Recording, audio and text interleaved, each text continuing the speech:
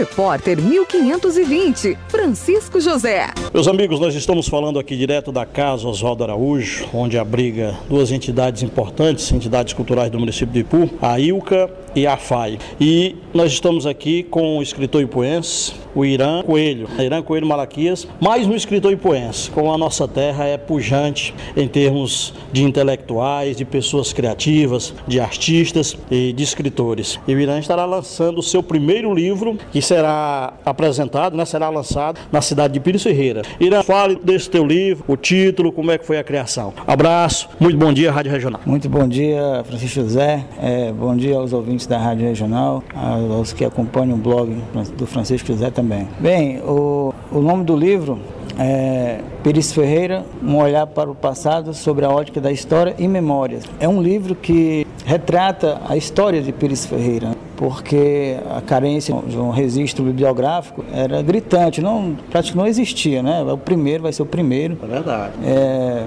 fato inédito, né?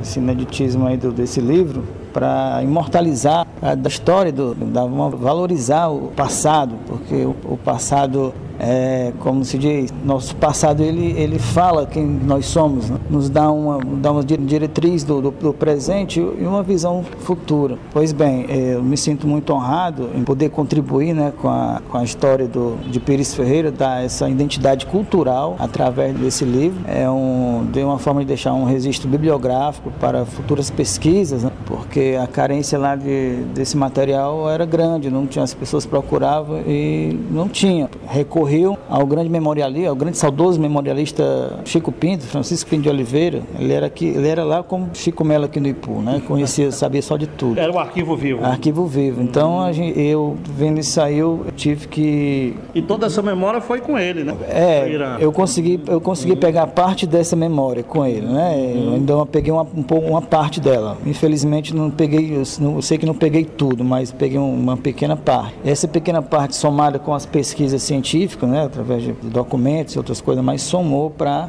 dar esse, esse fato né, sobre o local. Chega num momento propício esse livro porque o Pires Ferreira completou 32 anos né, de sua emancipação política. Exatamente, é, tá mais que na hora de Pires Ferreira ter um, um, livro retratando a sua história, né? Então, eu, bem, me preocupei com isso aí, porque trabalho lá, eu vi como é que era é, o, o, o movimento dos estudantes, é, quando, na época tinha um curso de história lá, e os trabalhos geralmente eram voltados para as temáticas da história local. Você leciona lá, Irã? Não, não, não leciono lá, só trabalho, trabalho nos Correios lá. Você trabalha nos Correios. Né? Isso. Né? Então, é, ao ver aquela, na época de trabalho, os, os, estudantes correndo atrás de saber, de pesquisar, e, e eu vi aqui no, as fontes eram escassas, né? E todo mundo recorria, acaba, acabava recorrendo ao Chico Pinto, entendeu? O Chico Pinto, a residência dele ficou assim, é, virou um, ponto de peregrinação, né? E então eu conversava muito com ele, a gente gostava muito de conversar, e ele, ele demonstrava na, nas suas palavras, quando ele externava sobre a história do local, ele não externava só por falar, ele, porque ele gostava de, de, ele gostava, ele amava o Perício Ferreira, amava a história do Perício Ferreira. Então ele, ele sabia muita coisa. Então, né, através dessas conversas aí com ele, eu incentivei né, ele a,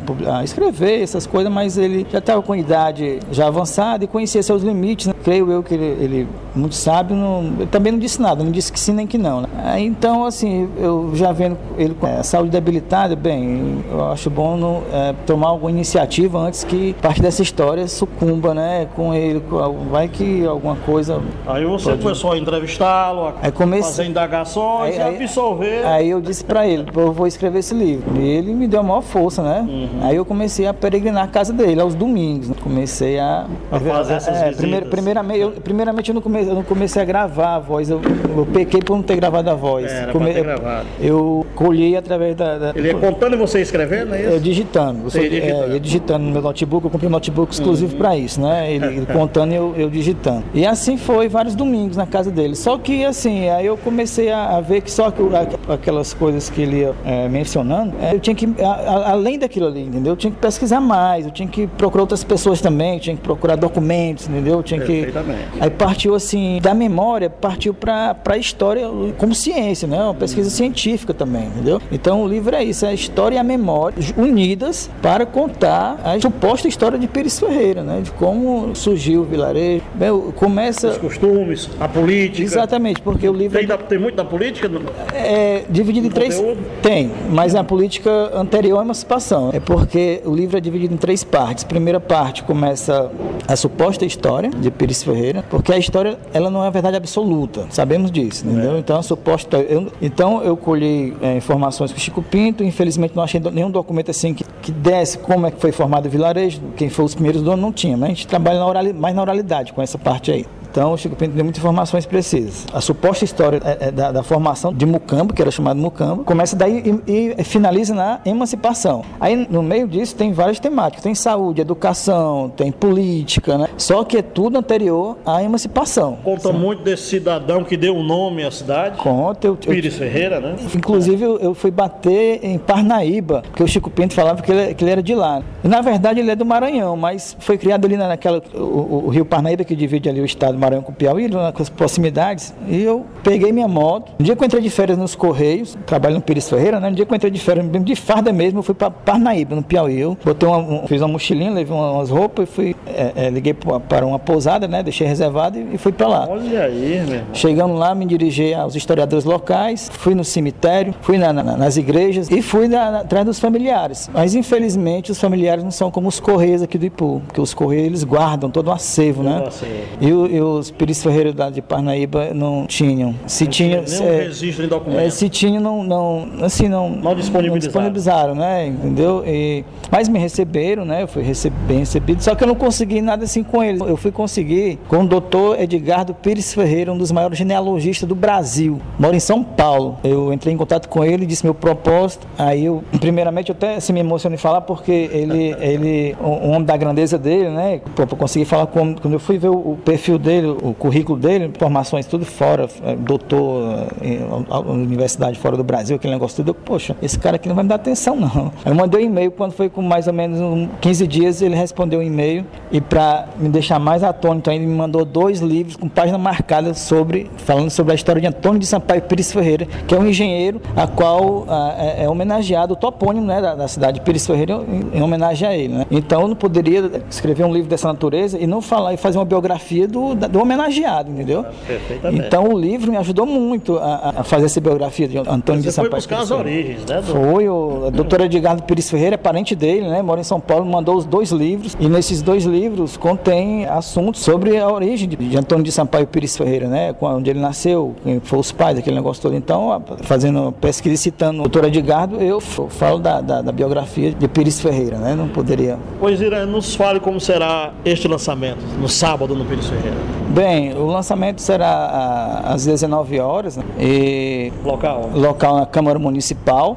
Está aqui, inclusive, seu convite, que eu trouxe um para você. Opa, muito obrigado. Eu, se me você, honrado. Se você puder, puder estar lá, eu também me sentirei honrado com sua presença. Oh, maravilha, muito obrigado. E é isso, esse momento aí vai ser um momento inédito na cidade. Eu fico muito feliz por poder contribuir. E Pires Ferreira também, é, se eu não me engano, aí está em destaque também a educação, né? Vê aí que Exatamente. Nesse país Alfa aí do segundo e nono ano, primeiro lugar. então, então tá, se, tá se, se, evidenciando aí o Pires Ferreira e eu fico feliz por ser educador também com isso, entendeu? E mais feliz por poder contribuir com a cultura do local. Eu, eu não nasci lá, mas me sinto filho, filho, de lá. Eu trabalho lá, eu tenho muitos amigos lá, eu, eu, eu me sinto filho de lá, entendeu? É, eu adoro. Tá sendo precursor, o pioneiro de contar a história daquele município. Exatamente, eu amo aquela cidade. Aí vai ficar né? nos anais é um, da história do Pires Ferreira. Com muita honra, fiz esse trabalho, não foi nada fácil, é, mas foi prazeroso, aprendi muito, é, cresci muito fazendo esse trabalho, porque você tem que pesquisar, você tem que ler muito, buscar muitas fontes, né?